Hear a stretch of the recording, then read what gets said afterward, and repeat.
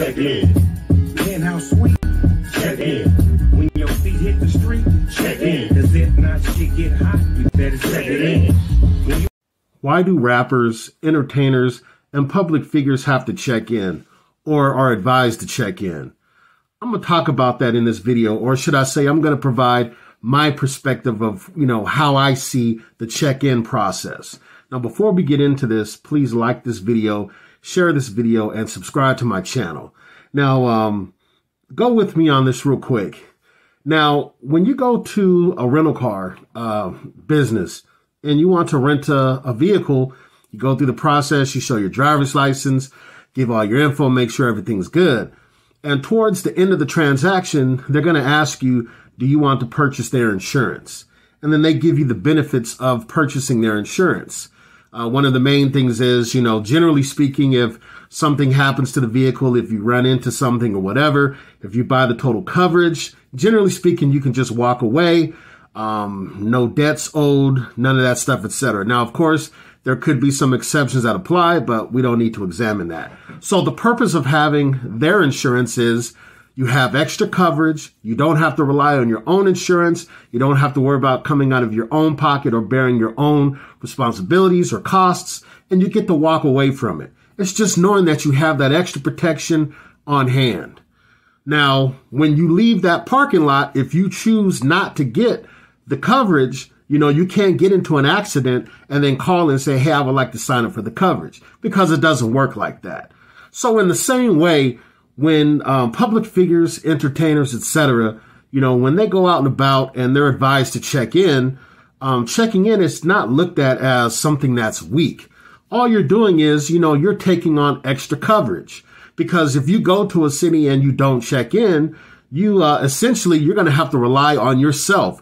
Whatever resources that you have, that's all you're going to have. But when you check in, you're essentially getting, you know, the the uh, what do you call it? The bumper to bumper coverage. You know, now bumper to bumper coverage, it doesn't guarantee that nothing's going to happen, but at least you know if something happens, you have that coverage. You know, you can potentially walk away from it. You don't have to worry about using all of your own resources. You have backup.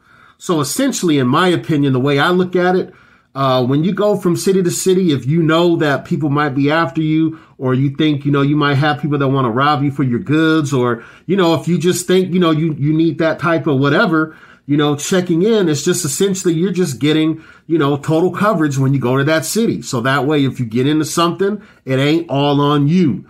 You're going to have bumper to bumper coverage and you're going to have that extra helping hand. And that stuff can come in handy.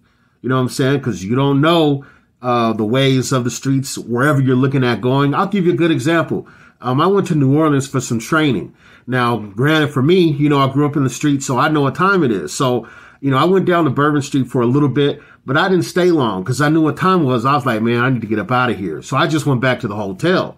But later on, I found out that, you know, several people that were within our organization, um, they got robbed. You know what I'm saying? Um, cut the purses, pushed some of the ladies on the ground. They were going after the designer bags. You know, they were all flashy, all that kind of stuff, right?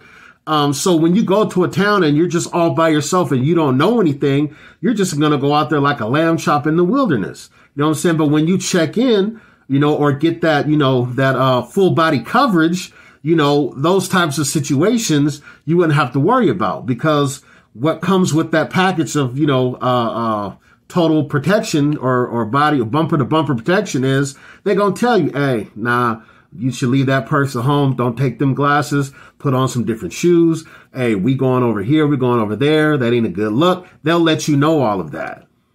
So please don't look at checking in as a weakness. Don't look at checking in as though like you're bowing down or, you know, you're giving up your manhood or your womanhood or whatever you want to call it. All checking in is, it's just giving you bumper to bumper coverage when you come into that area. And again, it doesn't mean that you're not going to encounter an accident or it doesn't mean that nothing's going to happen. It just means that if something does happen, you got extra layers of protection and you got other people looking out for you. So hopefully that makes sense. And, um, it, it's just very interesting, you know, because for whatever reason, there's, you know, some, some knuckleheads that they think they can go wherever they want to go and they don't have to check in because they think checking in is a sign of weakness or something. But it's really not a sign of weakness, you know, and I'm not going to, you know, question whether or not, you know, PNB Rock, if he should have checked in, because that's totally inappropriate. You know, the brother died, you know, just in a horrible manner in front of his girl out trying to eat chicken and waffles. So that's not why I'm doing this video. It's just a lot of people are bringing up the topic of checking in, checking in. And then some of them brought up uh, the Quando Rondo or Rondo Quando, however you say his name. And so checking in is kind of a, a, a hot topic right now. So again, don't think of checking in as a sign of weakness. Checking in is just essentially going to get a rental car and you get that total protection package, bumper to bumper coverage. So if anything does go down, you got some extra layers of protection and help to see you through. All right. Hopefully that makes sense. Holla at your boy. Know what it is when you hop off the plane? Check in. Penthouse suite? Check in.